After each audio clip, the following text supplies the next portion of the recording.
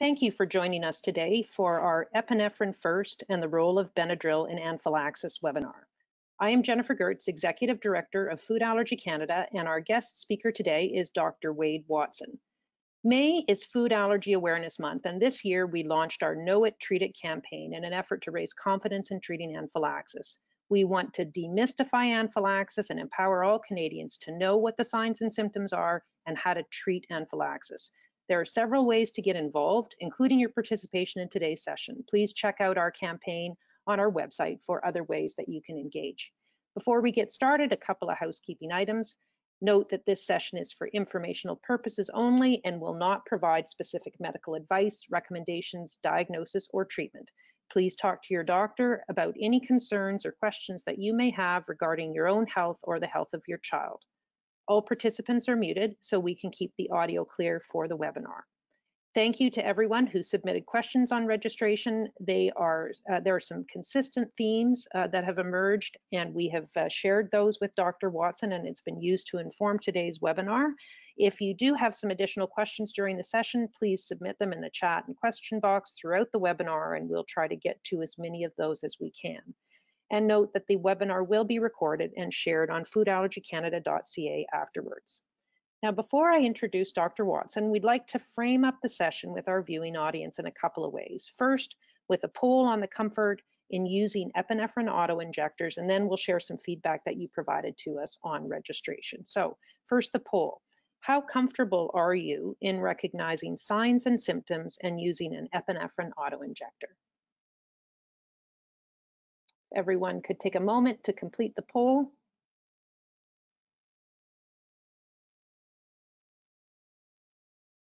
Okay, we've got 18% who are very comfortable, 40% of, uh, that are comfortable. We've got some that are not comfortable and 34% somewhat comfortable. So that kind of gives us a sense of where the audience is today. The other thing that we asked you on registration is what causes you to hesitate in using an epinephrine autoinjector? And while some of you noted that you would not hesitate and others said, well, I've never had to use uh, this, here are some of the themes that emerged uh, during this, uh, this collection of data. So first off, not sure or confident in recognizing when to use an autoinjector. The reaction doesn't appear serious enough to use it epinephrine autoinjectors are expensive and I don't want to waste a dose. The belief that an epinephrine autoinjector may cause pain or discomfort. Some concerns around using the autoinjector incorrectly, concerns around side effects, and lastly, the need to go to the hospital if epinephrine is used. So with that as background, I'm delighted to introduce our guest speaker uh, for today. Dr. Wade Watson is a professor of pediatrics at Dalhousie University, head of the Division of Allergy at the IWK Health Center, and chair of the Specialty Committee, Clinical Immunology and Allergy for the Royal College of Physicians and Surgeons of Canada. He is also a member of our advisory board. I'll turn it over to Dr. Watson. Uh, thank you very much, Jennifer. And I, I also want to thank Food Allergy Canada for this opportunity to speak. Uh, we're all sort of uh, in COVID mode, for, as you know, for the last 14, 15 months. So speaking about something other than COVID is actually quite fun.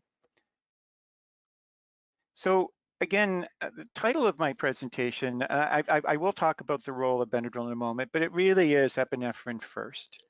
And just, I'm a pediatric allergist, so I've been seeing children now, my goodness, well, including my training since 1986. So, you know, my my major focus is going to be speaking about children. Um, you know, so uh, you know, many of what things that, that I say will also be applicable to to adults as well. But I'll just express that comfort level to begin with.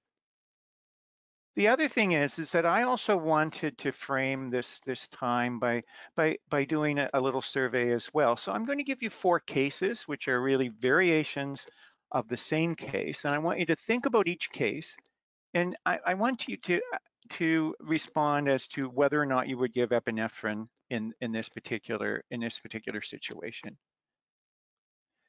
So the first case is a six-year-old girl who has a sesame allergy. She has hives and starts coughing repeatedly 15 minutes after a snack, and she's distressed. So my question to you is, would you give epinephrine? So your choices are yes, no, or uncertain. So we'll post that first one, please.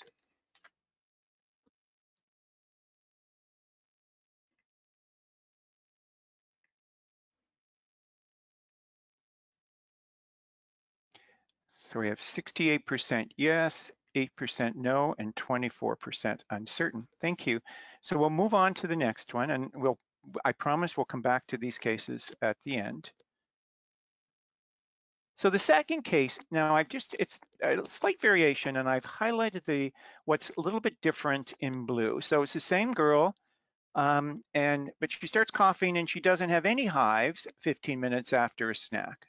You give her water and her cough does not settle. So in this situation, would you give epinephrine? So again, your choices are yes, no, or uncertain.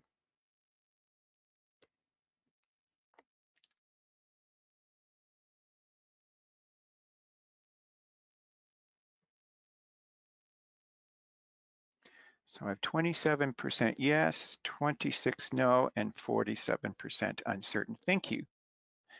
So we'll move on to the case number three. Again, um, slight variation. So now this same girl has asthma and a sesame allergy.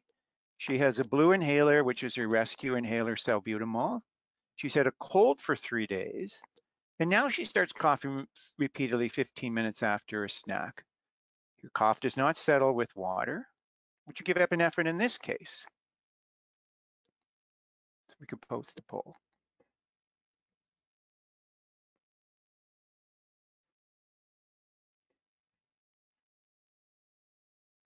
So 23% yes, 41 no, 36 uncertain percent. Thank you. And I have one other one. Um, so similar case, um, she has asthma and sesame allergy. Now she's had a cold for three days and she's been using her blue inhaler at least once to twice a day. Now she just starts coughing out of the blue. The cough does not settle with two puffs of salbutamol. So the question is, in this situation, would you give epinephrine? So your choices again are yes, no, or uncertain.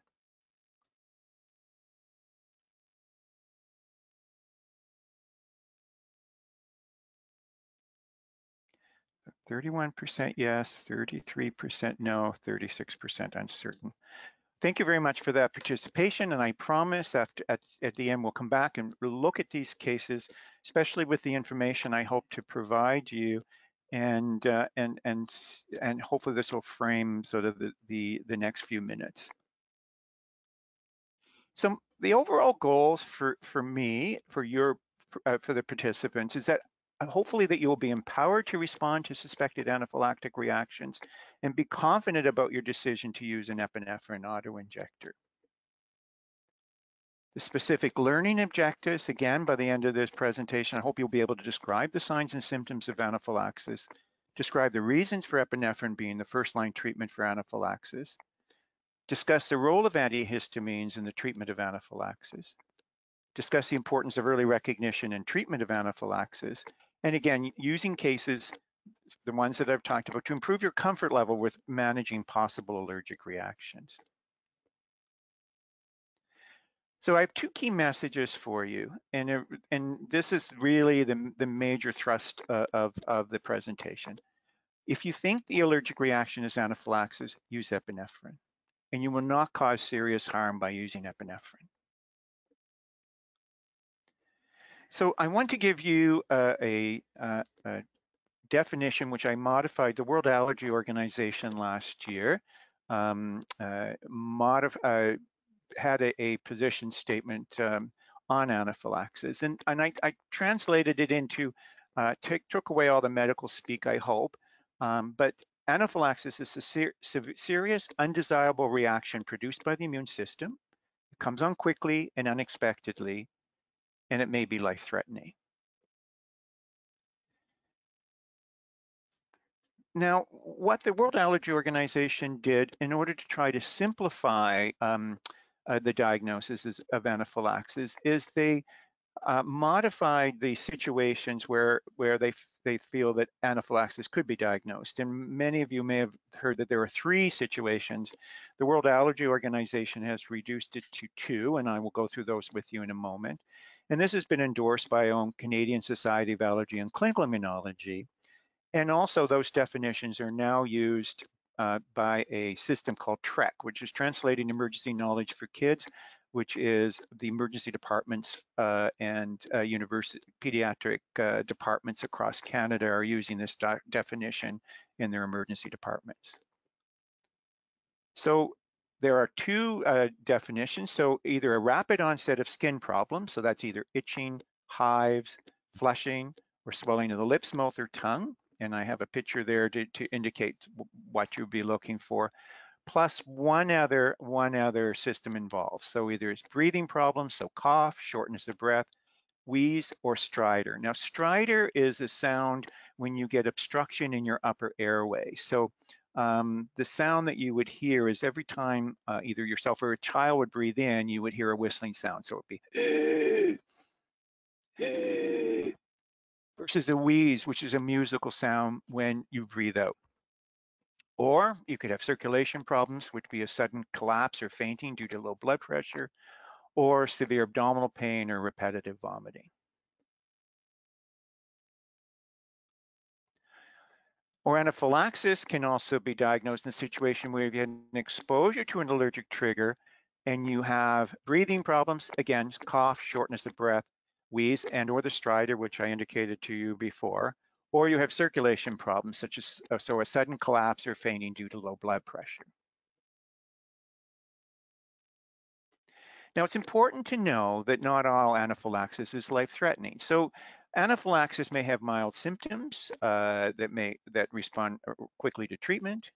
You can also have uh, airway symptoms only with severe wheezing or stridor, or you can have, you know, a, a, a reaction with respiratory failure, low blood pressure, or hypotension, plus loss of consciousness. Now, the important thing to understand is, you know, what affects the, med the medications we use for anaphylaxis? What, where do they work? So I just want to go through epinephrine, which is, is the, the second column after the body system versus an antihistamine. So for, from a breathing point of view, epinephrine opens up the airways. It helps to relax its muscles and reduce swelling in the airways. So the airways be, uh, rapidly open. From a circulation point of view, epinephrine raises the heart rate, raises the blood pressure, and it helps the heart to increase its contraction. So if it counteracts that low blood pressure or circulation collapse that occurs. Uh, epinephrine also affects the immune system. The, uh, the cells that are part of the um, allergic reaction called mast cells release a number of chemicals, one of them including histamine that's responsible for the allergic reaction epinephrine actually stops the ongoing release of those mediators. So it actually works uh, to um, suppress further release of the mediators that are triggering anaphylaxis. And for the skin, epinephrine actually reduces hives. An antihistamine in, anti, in, in, in anaphylaxis does one thing and one thing only, it just reduces hives. So epinephrine in anaphylaxis, the importance of early use is that you get a better response if used early in the reaction. The side effects of epinephrine are mild and disappear quickly. So you can get an increased heart rate, which is what you want. Um, you, you get pale skin because it contracts all the little small blood vessels. You can get a little bit of shakiness after the use. Um, and uh, some people experience some nausea, but those things are temporary. Now, Benadryl in allergic reactions, Benadryl is the brand name. Uh, in North America, the active ingredient for Benadryl is something called diphenhydramine. It is an older, what we call first generation antihistamine. And the major issue with regards to that is that it, it does cross what we call the blood-brain barrier and causes sedation, okay? And so the, the drowsiness that occurs with Benadryl is similar uh, and similar brain activities of blood alcohol of 0.1. And so it may and it may interfere that with those emergency department assessments. So what I explain to families is that it's like giving your child a martini. Okay, so it doesn't it doesn't contain alcohol, but because it causes that that that uh, effect on brain activity, it has that same same action. There are three epinephrine auto-injectors currently available in Canada, and they are shown here. The EpiPen, which is on that lower left, which is the one that's, that most people are familiar with. Allerject is now back in Canada, um, and again with the 0.15 and 0.3 milligram. The other uh, device that's, that's now available in Canada is a device called Emerade, and that's in the upper right corner and it comes in two doses of 0.3 milligrams and a 0.5 milligrams. Now, there has been a number of concerns expressed about the use of epinephrine, and I, I, I cleaned these specific ones uh, out of an article from three years ago and added a couple uh, of my own. But one of the major, one concern that's been expressed that epinephrine should not be used in anyone with a history of cardiovascular disease. And I want to reassure everybody that that any cardiovascular events that have been recorded are rare and are associated with improper dosing or administration. So either the dose was uh, given was too much or uh, sometimes in adults if they have an, an intravenous. So the, the epinephrine uh, is actually given through the vein and goes directly to the heart, which can cause significant effects. But when it's used by uh, intramuscular route, so into the into a large muscle in the leg, it doesn't have significant cardiovascular effects. Second concern that epinephrine autoinjectors cannot be used in infants. And again, uh, um, our Canadian Society of Allergy have made recommendations for children less than 15 kilograms, including less than 10, 10 kilograms. The 0.15 milligram dose is, is perfectly appropriate to use. Again, for 15 to 25 uh, kilograms, the 0.15 milligram dose. And again, for 25 kilograms and over, uh, the 0.3 milligrams would be appropriate. A third con uh, concern is that the epinephrine auto-injections injections are harmful. So that means if they're used when they're not needed, does it cause harm, or it may cause significant injuries. And again, uh, a review of the literature, there are no reports of significant harm, I mean, it reinforces the importance of proper training and practice so that you have a, have a trainer device, you know when to use it, and you practice how to use it. There are certainly reports of cuts and abrasions in children related to them kicking or moving their leg, and the, that just reinforces the importance of stabilizing the leg when it's administered and again, to address that, um, the device hold time uh, recommendations, at least for the ones that you actually have to hold the device, is reduced from 10 seconds to three seconds to reduce that risk. Uh, fourth concern, and the whole issue is epinephrine is dangerous. So if you use it, you must go to the emergency department. And again, I really want to reinforce the emergency department visit is recommended due to the allergic reaction, not due to the fact that the epinephrine has been given. And the reason why for that concern is the symptoms may continue to progress and you may require additional therapy. So that's why monitoring in an emergency department would be important. And there are concerns with what we call biphasic reactions, so recurrence of symptoms after improvement despite no additional exposure. Now, I did read a recent paper that suggested that risk in, in, in reality is probably around 5%, but it is a potential risk. So you that's why that monitoring is required. The other concern that's been expressed is that the, the needle in the auto-injector is long. And I wanted to give you some, some very simple ways to think about the length of the needle in, in, in the different auto-injectors. So on your left with the EpiPen and the Allerject, if you look at your thumb, the length of the needle is basically the width of a thumbnail. The Emerade device is slightly longer, so it's about the width of your thumb completely. And just to compare so that when you, you go for a, an immunization, I mean, the, the length of the needle for, for that device, for the regular thing is from the edge of your thumb to your joint. So you can certainly see that the relative length there um, to give you some idea. So I want to go back and review the case discussions. And so I'll just go through them and I will just remind you of your responses. I very quickly writ had written them down. So that first, uh, a six-year-old who has a sesame allergy, she has hives and coughs repeatedly 15 minutes after a snack, and she's distressed. So 68% of you thought you would give the epinephrine, 8% said no, and um, and 24% was uncertain. And again, uh, and I can understand, I, these are, I, I made them appropriately vague because you need to ask some other questions with regards to this. But, you know, but you do have skin plus breathing problems means anaphylaxis. So you had rapid onset. So, you know, she did have a snack. We don't know for sure if she has actually um, had ingested or had eaten anything with sesame. But according to our, our definition, this would this would translate to anaphylaxis. So it would be appropriate to use epinephrine and again, go to the emergency department. Now the second case, slight variation. So this she just started coughing but has had no hives 15 minutes after a snack. You, she is given some water and it doesn't settle. And again, in this situation, would you give epinephrine? 27% said yes, 26% said no, and 40 47% of you were uncertain. And again, I, I, let's look at some questions because the big issue is what did she eat? Because I think it's it's important to to know that. And more importantly, was there any potential sesame exposure? So two questions you can ask and try to sort of sort that through. So if there's been no exposure, it's appropriate to watch. But again, I mean, I really want to reinforce if the symptoms are persistent or worsen, I mean, again, there's no downside of using epinephrine. If there was potential exposure, again, so you have potential exposure to something you're allergic to and you have respiratory symptoms, that would satisfy that second that second def, uh, uh, definition. So it would be appropriate to use epinephrine.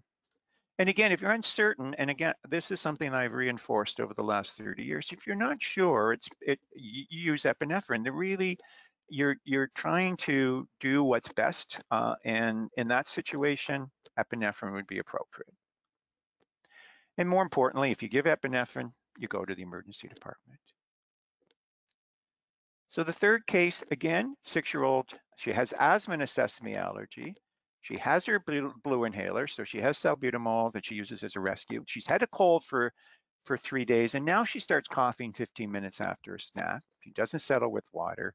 Again, would you give epinephrine? In this case, 23% said yes, 41% said no, and 36% were uncertain. And again, it's I just slight variation. So now you have asthma as part of the of the issue, and that happens quite often uh, with with children. With they have more than one uh, issue that you're dealing with. So again, the question is, what did she eat, and was there potential sesame exposure?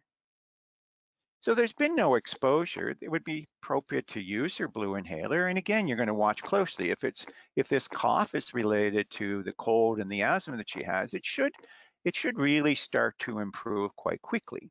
So again, if it, if there's no exposure, but she's not getting better, or it seems to be worsening with five minutes, you can repeat your blue inhaler because is this asthma? That's the big question, and that would be appropriate. But again, the issue is epinephrine may be indicated in this situation uh, because the symptoms are worsening. And certainly epinephrine was a treatment that we, we used in the past for severe asthma. So again, you, you can make that choice. Um, if there was potential exposure, it would be appropriate to use epinephrine. And uncertain exposure, again, I'm, I'm, there's a recurring theme here. You get, I would recommend giving the epinephrine. And again, the emergency department visit is your next step. And then the fourth case is that six-year-old with asthma and a sesame allergy. Now she's been ill for three three days. She's used her blue inhaler a couple times each day, and now she starts coughing out of the blue. So really, you know, it's it's not related directly to eating. Uh, you you give her some Ventolin or some some salbutamol, and she doesn't get better. So the question I asked was, do you give epinephrine in this situation? So again, 31% said yes, 33% said no, and 36% were uncertain. So a third, a third, a third. And again, I think it's it it it is vague, and again, you need to ask yourself some questions. So when did she eat would be helpful. If it's been more than two hours since she ate, then that would suggest that perhaps an allergic reaction would be less likely because you know we would expect the symptoms to occur immediately or within a couple of hours versus less than two hours. Less than two hours, it certainly would raise your your suspicions. And again, what did she eat? And was there any potential ex uh, sesame exposure? So you have the, if it's yes, no, or uncertain. So if there's no exposure and it's more than two hours after eating, you can repeat the salbutamol, watch closely. If there's no improvement, she's getting worse, you would repeat the salbutamol. So then you have to wonder, are we dealing with a significant asthma episode? And so that you could do that. If there was some, if you're, if you're again, if there's uncertainty, you could give the epinephrine. If there's potential exposure, again, you give epinephrine. Uncertain, you give epinephrine. Again, the same thing, you would go to the emergency department. So with that, I'm going to open it to questions. Thank you, Dr. Watson. Let's turn on our webcams. Okay. Thank you. I mean, we've got a number of questions and, and a good amount of time to go through those.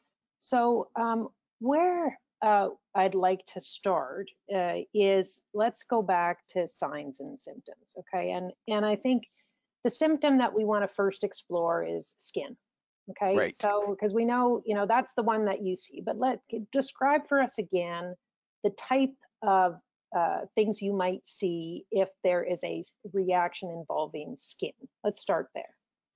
So I mean, the, the most the, the most thing easy thing is hives. So so white raised itchy bumps that are you can feel them if you if you touch them. They're usually surrounded by by a red area. So hives would be the one very common thing.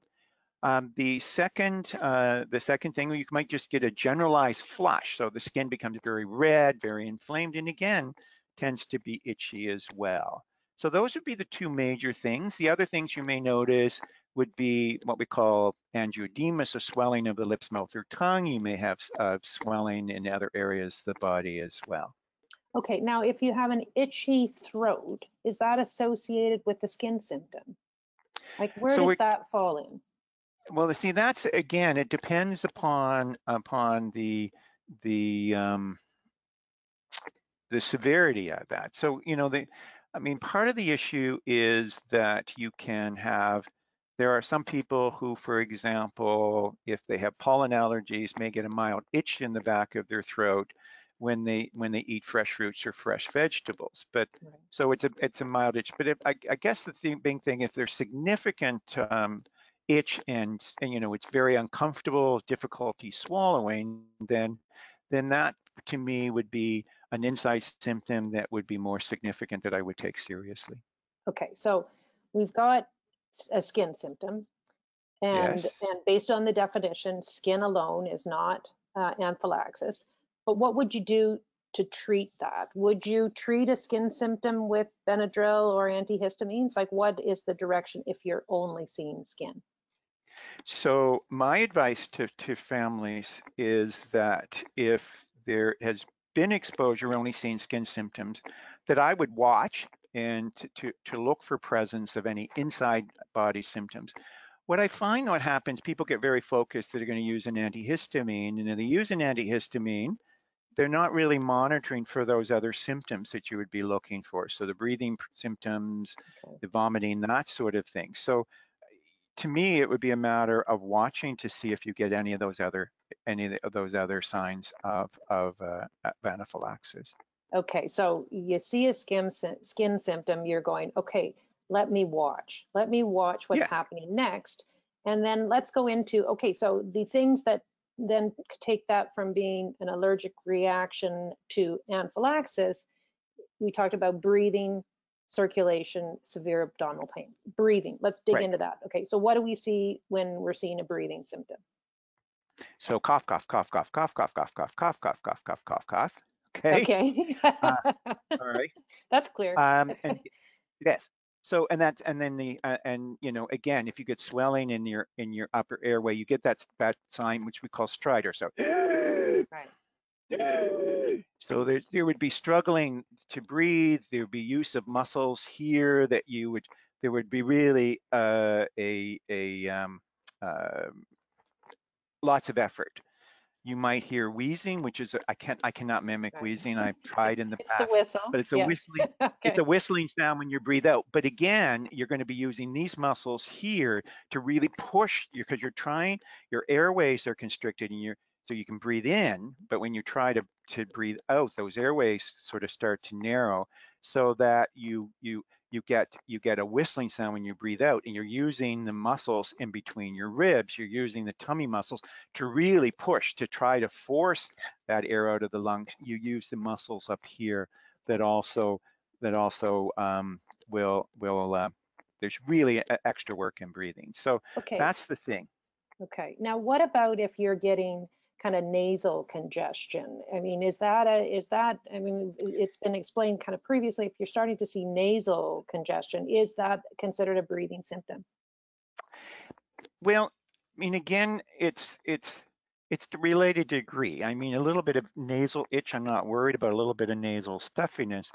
But you know, certainly, uh, if you think, I mean, you're really looking for those things that are significant or severe. So if your nose gets really blocked, you know, uh, again, you have, and you don't have any other symptoms, mm-hmm. it's worth it's worth watching. I mean, you know, I've had you just been outside and are you pollen allergic? Yeah. You know, I mean, and so it's trying to sort of sort those through as well.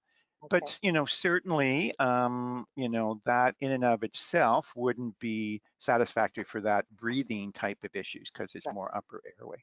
Okay, now let's talk about circulation because that was the other. Sure. So skin plus circulation. Explain to us the things that we're going to be seeing when it comes to a circulatory symptom. So the big thing is, and I mean, and again, I think part of that, I mean, a low blood pressure. So when you see, you know, sort of that somebody having problems with blood pressure, what would what you would notice is that decreased level of consciousness, that they feel they might feel, I mean, an older person might feel dizzy, they may feel lightheaded, they feel that that they're going to to to, to faint because they're not they're not getting the blood to their head. Um, those would be the be be the biggest things. Um, you know, uh, the other one that happens is that sense people always talk about that sense of impending doom, you know, mm-hmm. and again, you know, is that directly related from the heart type of reactions? You know, I think that, you know, it's it's because, you know, if you're having trouble with low blood pressure and your heart's trying to get blood to your brain and you're not getting the blood there, I mean, that's where you start seeing that that lightheadedness, faintness, those sorts of things. That would be that would be the things that I would be. And your heart rate would probably increase because your blood pressure is dropping. So your heart starts to really try to pump more right. in order to, to get that, to get the blood to where it needs to go. So you'll be feeling that and your heart would be really trying to racing in your chest as well. Okay, great. Now, I think the last one, se severe uh, abdominal pain or vomiting, I think we can all relate to that one. That's probably pretty um, straightforward how long, like if you see hives as the first manifestation or some sort of skin symptom, you know, how long do you really have to observe for those to see whether it those other symptoms appear? When do you what's your perspective on well i mean again if you if you look at the strict definition and again the strict definition i'll be honest drives me a little crazy as an allergist because you can say you can have symptoms up to two hours. That's uh, you know those symptoms cannot come on within two hours. In in my experience um, you know, really we're talking within minutes. I mean, it's very, you know, the skin plus things, things happen, you know, but they usually happen within minutes. But the official definition says up to two hours afterwards. And again, I would say 95% of any of the histories that I have heard over the years, or when we do food challenges, for example, in our clinic, those symptoms come on fairly quickly. Okay. Okay, so that that was criteria one, skin plus A, B, or C. And then, and now we're talking about the other situation where you're right. going to be either breathing or there's a circulatory issue. So right. again, is that again, uh, it's going to be a rapid in onset? Describe yes. that kind of scenario too for us. Well, I mean, the thing that the, the subtle difference between the two, the first one is you don't have to have an obvious exposure to a potential allergic trigger. If you have a sudden onset of those skin changes plus one other body system, which we talked about, then, then that satisfies that criteria. The second one is that you've had an exposure to a known allergic trigger and you have either respiratory symptoms or those cardiovascular symptoms. By definition, uh, that would be considered anaphylaxis and the and again, the World Allergy Organization was looking for some, just making it simpler uh, right. so that you can, uh, you know, again, if you're have those symptoms and you've been exposed to a, a known or potential allergic trigger, then that would satisfy the definition. So this, Okay, the, the, the symptoms that we've talked about, uh, that I mentioned before, would be exactly the same. There would just be no obvious skin changes. got it. Okay. You could still have skin changes if you had an exposure with an exposure to no allergen and had skin changes plus plus those symptoms. That still satisfies the definition. But the first definition, there's no obvious exposure. You have skin plus those. The second one, you've had an, an, an obvious exposure. Okay, so one of the questions that came in through the chat was, if a child is coughing only, could we use an ice pack on their neck, give water, and closely monitor? And I guess what you're saying is that if there's a known exposure, then that might not be the action. Well, so one or two coughs. I mean, chi- children cough, right? So, but it's but in this sort of situation, you know, if there's been a potential exposure and the cough is significant, I mean, it's not one or two coughs, cough, cough, cough, cough, cough. I mean, it really there's a sudden change. They went from perfectly well to to, to really coughing incessantly, and it's progressing. Then, then again, if if there's been a potential exposure, they're known to be allergic. The issue is is it's it's it's the epinephrine is the treatment of choice, and the question is, do they respond, yes or no? Okay, okay, great. Um, couple of other uh, questions uh, again on signs and symptoms. What do you look for in an infant? Is it, you know, what, you know, given that you can't get that feedback necessarily, what are the Sure. signs and symptoms you should look for in an infant and how should it be treated? Well, again, I mean, you know, so children less than one year of age, I mean, you know, it really that the clear things, I mean, the skin is going to be exactly the same. I mean, you know, hives, flushing, that sort of thing. The issue that comes down with with with with children and or infants and or babies is they they go from happy to being very unhappy. You know, again, um, either you know incessantly crying. You know, if I mean, again, from abdominal symptoms, they may be pulling their legs up, but they they're crying, they're very uncomfortable, and it's happened shortly after an exposure. But if um, breathe again, cough, be cough, cough, cough, cough, cough. Uh, that stridor they were taught, you still may be hearing that. But the children go from being well, so the breathing, they really are distressed. Or, you know, certainly I've had children when I've done food challenges that have severe, you know, severe cramping and abdominal pain that really comes on quite suddenly. So they go from being perfectly well to being very uncomfortable. Okay, okay. Now, uh, last thing around um, signs and symptoms. Uh, what's the situation where it's, well, this is not, more, not necessarily signs and symptoms, this is more around treatment. In what situations is it not okay to give a shot of uh, epinephrine? That's maybe a hard question to answer. So when, so when it would be inappropriate, Yeah, I mean, my my simple message. I'll just go back to the simple message. If you think that you're that that the, the child is having a, an, an allergic reaction, you believe it to be anaphylaxis, then it would be appropriate to use the epinephrine. Okay, okay. Well, so that relates to our next question because one of our one of the uh, members of the audience asked around what are the levels? Like, are there levels to anaphylaxis, and do you use epinephrine in all in all situations? And it sounds like you're saying yes. So if the answer is yes, you know, and again, you know, it, I mean, the analogy I use with families, and I, you know, it's kind of like being pregnant. You can't be a little bit pregnant. So, you know, if you're, I mean, if you satisfy the definition of anaphylaxis, you know, the the issue is the treatment is the same. You would use the epinephrine, and again, you're looking for a response to treatment. So the symptoms are are mild. The the reaction should reverse very quickly. But even if they're moderate to severe, you, the, the earlier the use uh, of the epinephrine, the better off in general you are. You're trying to reverse that those signs and symptoms, and you're trying to stabilize those allergy cells so they're not releasing further chemicals. So that's going to, you know, perpetuate or prolong that reaction. So, I mean, earlier is better. Okay. And if you're not sure, if you're not sure, then I would use it. Okay, okay. Let's go on to some questions specific to epinephrine. Um, doses for kids and adults, let's remind our audience about that. And also, when do you think about using a second dose or readministering? So the doses for, you know, for, for children less than 15 kilograms, and, and again, uh, is the, the 0.15. Um, there is not a, a 0.1 dose currently in Canada for, for that. So we would use the 0.15 milligrams. For 15 kilograms to 25 kilograms, we would use again the 0.15. Once you get about 25 kilograms and above, um, you would think about the 0.3 milligrams. And the, the 0.5 milligrams, which is the new Emerade device. So again, if uh, as an adult, um, you know, that, um, you know, certainly over over 50 kilograms, you, you could have the choice between the 0.3 and the 0.5.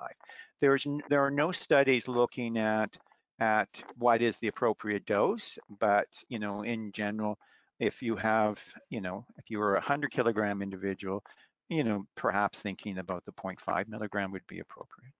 Okay. Now, can you also go through uh, for us, Dr. Watson, how you actually administer uh, the device? Okay, just in terms of what what are the, the the steps that you need to think about when you're using the device? Are you talking about the actual yeah, steps? Yeah, like where do you where do you apply the the auto injector? Oh, okay and what position, body position should you be in, that type of thing. Sure. I mean, and, and again, it depends if you're giving it to yourself or to a child.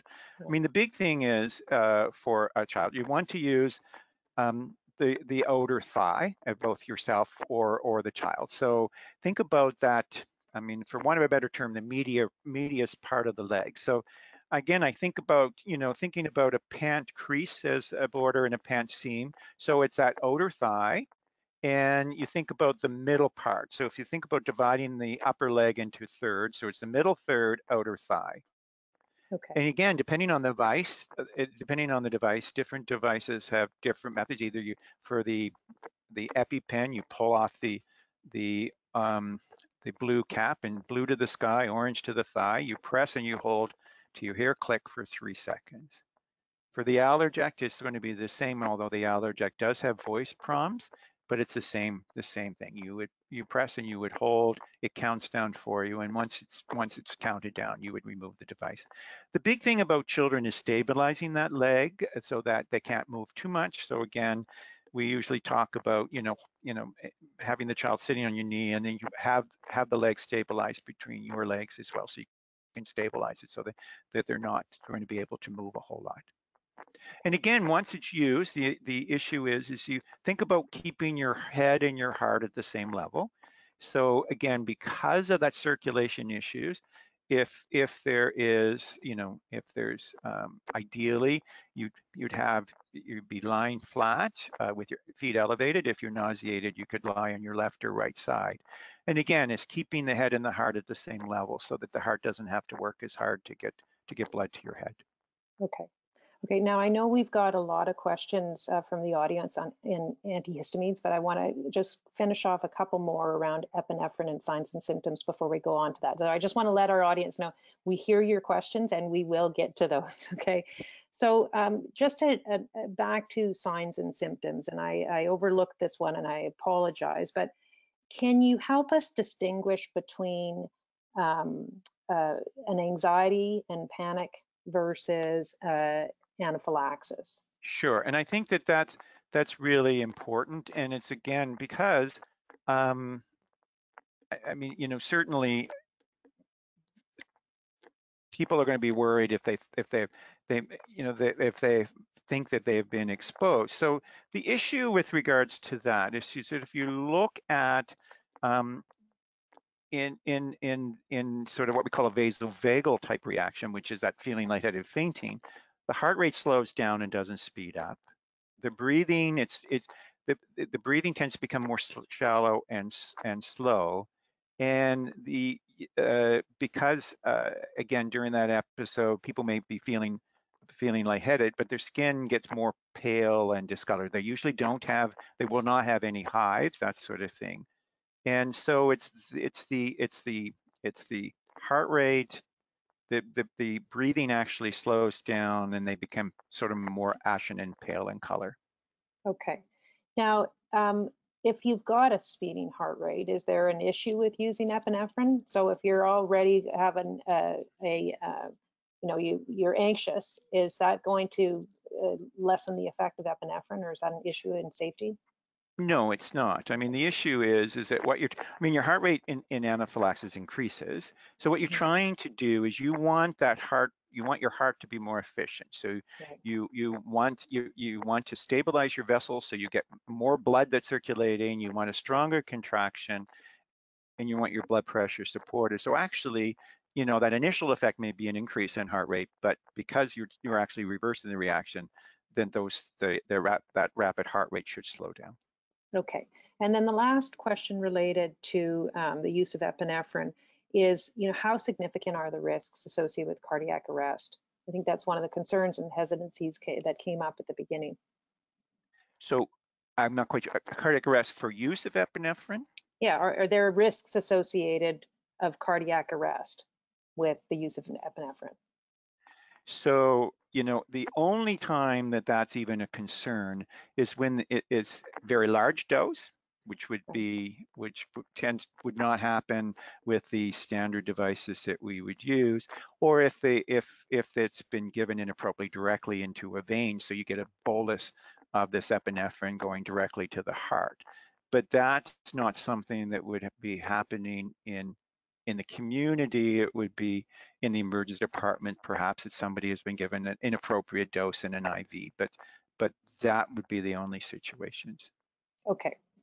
Okay, let's move on to antihistamines because this one is uh, one a, a very hot topic right now. So, um, is there value to using Benadryl in any situation?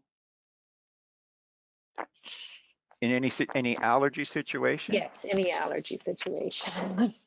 No. Okay. Our Canadian Society of Allergy and Clinical Immunology came up with a position statement. The- The Benadryl pro- formulation in Canada is diphenhydramine. It's a first generation antihistamine.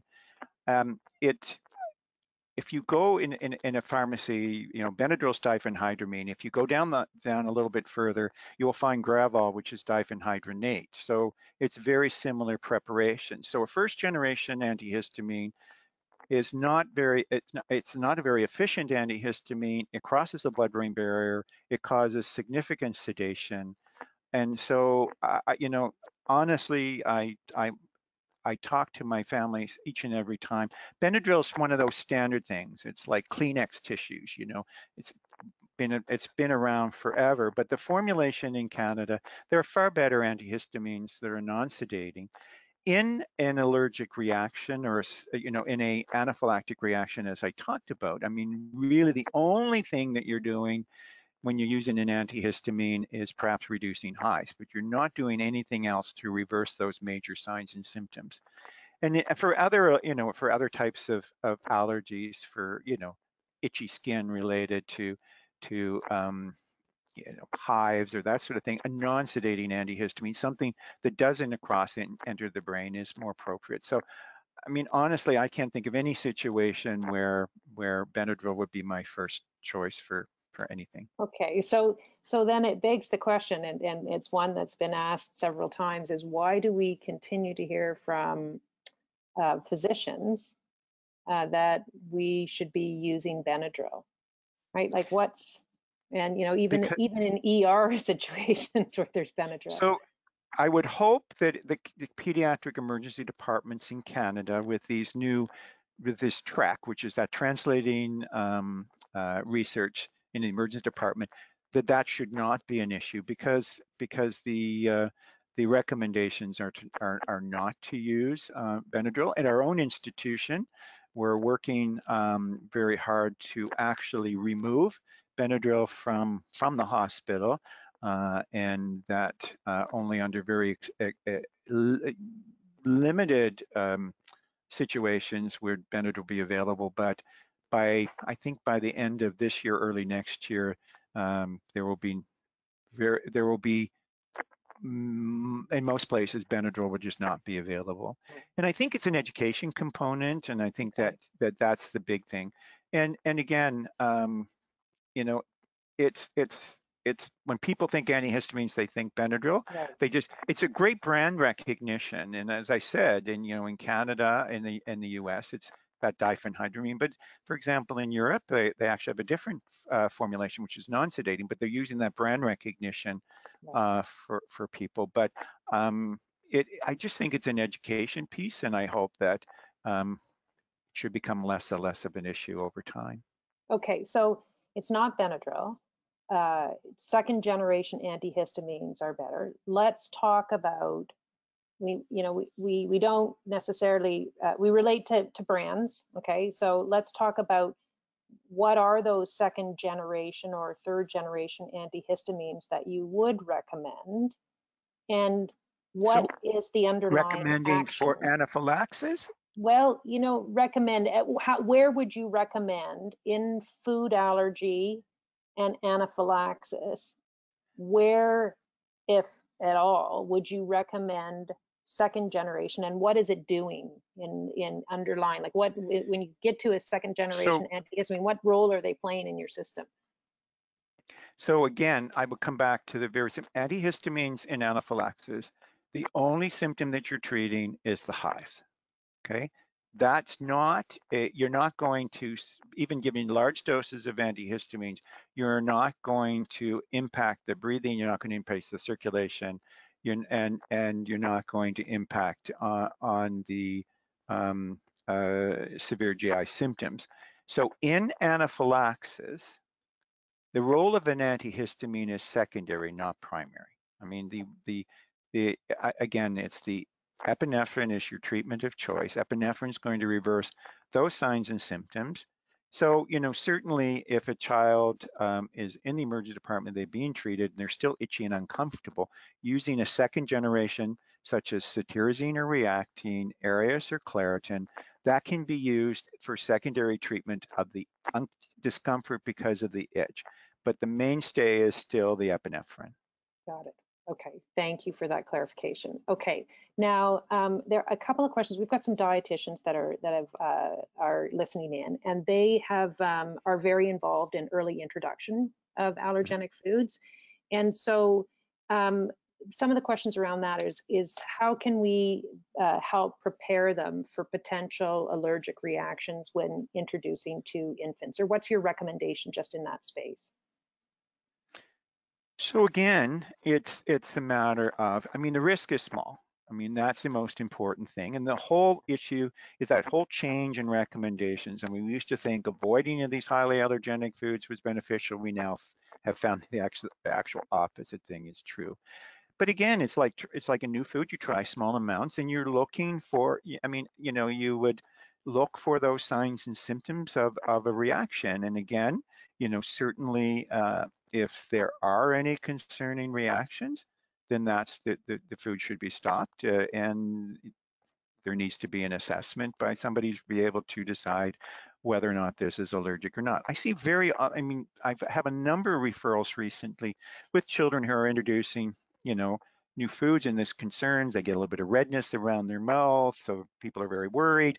Vast majority of the time, that's not aller, it's not an allergic reaction, but those, are, you know, at least, you know, the recognition of the symptoms and we would look at it. But again, it's hives, swelling lips, mouth, or tongue, any significant breathing problems, sudden changes in abdominal discomfort. It's all of those things that you would that you would look for. And again, it's a matter of you start start with small amounts and you progress, uh, you know, in a logical fashion, and one food at a time, so that you can ensure that you you know which food, if if a problem happens, which food was it, so that you can be a little bit more educated that way. Okay, so uh, I'm going to just two final questions, okay? Um, and I guess one isn't necessarily a question, it's asking you to kind of do a bit of a, summary of the uh, how to define anaphylaxis. So there was a question around um, life-threatening, that the understanding that anaphylaxis is always life-threatening, but in this present presentation we talked about it, it may be life-threatening or Right. it may not be life-threatening. So Correct. just kind of restate that piece for us because I think that there is this this uh, tendency to go anaphylaxis equals life-threatening. And that and that's important to understand that. It may be, but the issue is is recognizing. So again, if you have two systems, you've got hives and you and you start vomiting, that's anaphylaxis. So whether or not it's mild, moderate, severe, it's anaphylaxis. Okay, you treat it.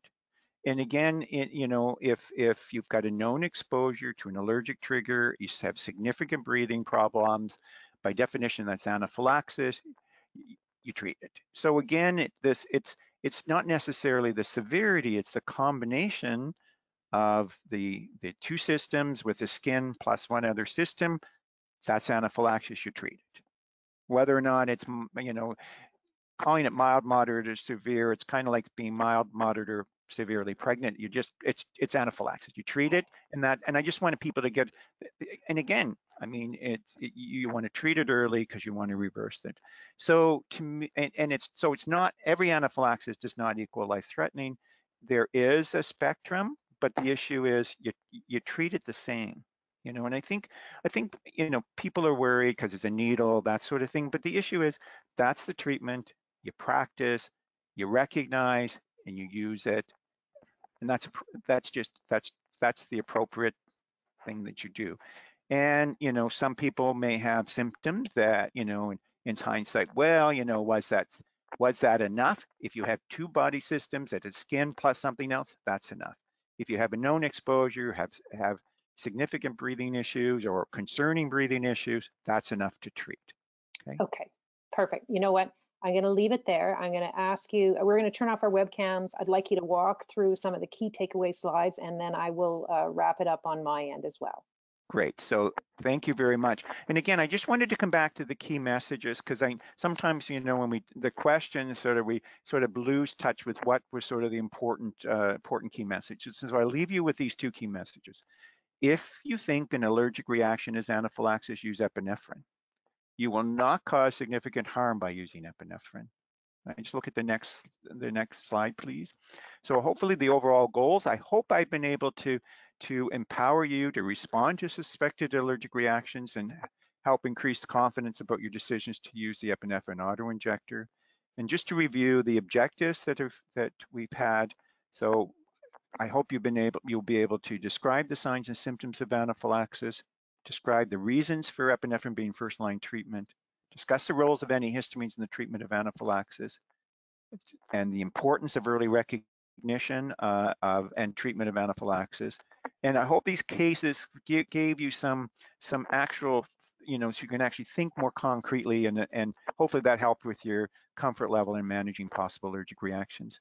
And with that, I, I thank you very much. Uh, I appreciate the, the, the time with you. Thank you. Thank you so much, Dr. Watson. We really appreciate you spending time uh, when uh, it's uh, particularly busy for the, the healthcare sector. So I'd like to go back to the poll that we started with at the start of the session in, in kind of gauging how comfortable you are in recognizing signs and symptoms and the using of epinephrine autoinjectors and, uh, and see how, how we've uh, helped move the mark.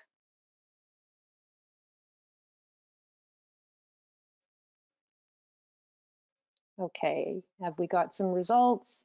Okay, we have we've we have moved many people to the comfortable and the very comfortable and we still have some work to do to help support those that are sitting in the somewhat and not comfortable uh, uh, mode. So a couple of things, um, two more things I'd like to mention. First is, as you know, if you've participated in our webinars before, you're going to get a short survey through GoToWebinar immediately after this. It'll pop up on your screen and we would really like you to complete it. You'll also get a survey uh, in an email in the next hour please take some time to fill it in. Your feedback is crucial and it helps inform our future webinars as well as understand the additional questions you may have. Um, and all of you now are in a position to get involved in our Know It, Treat It campaign. So we, during the month of May for Food Allergy Awareness Month, we have a contest running and we have the opportunity to win one of three prizes. Uh, it is a Know It, Treat It contest in which it's all about sharing the signs and symptoms of anaphylaxis and its treatment. Tell us how you knew you were having an anaphylactic reaction and how you treated it. And if you don't have to have had an anaphylactic reaction to, to participate, if you haven't had a reaction, share with us how you would recognize and treat it, because the goal of this campaign is really about empowering Canadians uh, around recognizing, treating anaphylaxis through real life stories and education. So we encourage you to get involved. Um, in terms of our uh, support for this uh, webinar, I would like to thank our sponsors. As you know, Food Allergy Canada is a not-for-profit charity, and we are very reliant on our donations for the support for the work that we do. And so if you can consider a donation to our organization, we would greatly appreciate it. You can visit foodallergycanada.ca backslash donate to learn more about our impact. And we would like to thank uh, our sponsors for our ongoing webinar series, the Walter and Maria Schroeder Foundation, the Sean Delaney Memorial Golf Classic, EpiPen, and the Peanut Bureau of Canada. So thank you for your participation in today's webinar. You can view a recording of this webinar at foodallergycanada.ca shortly, and please also share it with others who you think may benefit from this content. This now concludes our webinar.